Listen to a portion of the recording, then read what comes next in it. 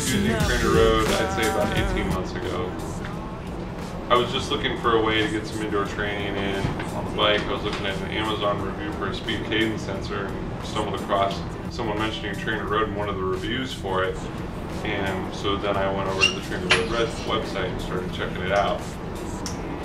I was a little hesitant at first because one of the things that that the industry tries to do a lot of times is sucker you in on gear and training tools that you don't really need. You just need to go out and work hard.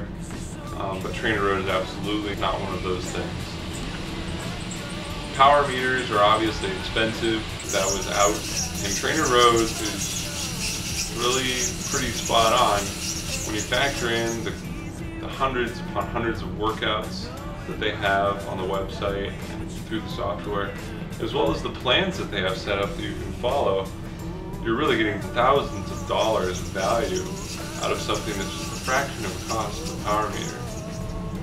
When I first started using TrainerRoad about 18 months ago, my best bike split for a 40k time trial was in a triathlon was an hour and 10 minutes. The 18 months of work that I put in on TrainerRoad um, allowed me to take over 10 minutes off of my 40k bike split. And when I went to Age Group Nationals this last year, I went 59 and change. One thing I think is really important for a triathlete is if you want to be a strong runner, you've got to be a strong biker. So that was a big problem for me because I didn't have any bike strength at the beginning of training for triathlon, which was three years ago. I'd get onto the run and I just wouldn't have any strength left.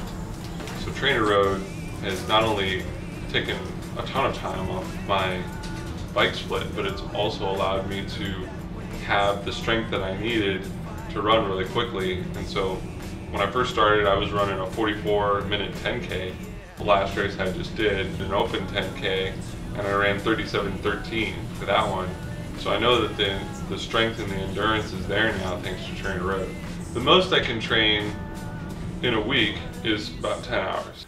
And so I can't let biking eat up all that time with six or seven hours of biking. The most I can do is four or four and a half hours.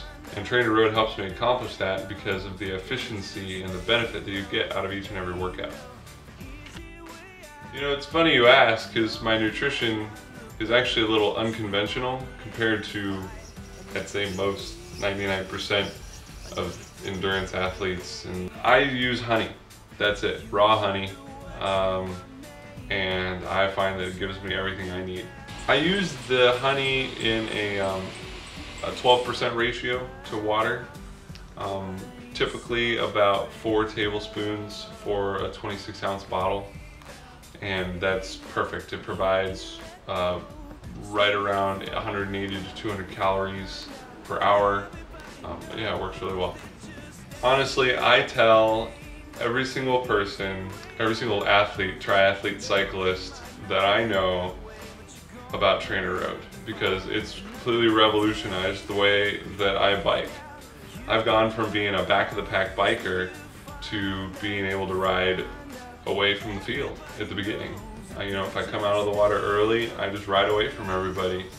Um, the last uh, time trial I did, in the local area, I averaged 26 and a half miles an hour. 18 months ago, I would have never dreamed of being able to bike that fast. I would have been happy with like a 21 or a 22 mile an hour bike. But now I'm out biking guys who have been biking for years. And so I tell every athlete I know about it because it really does work.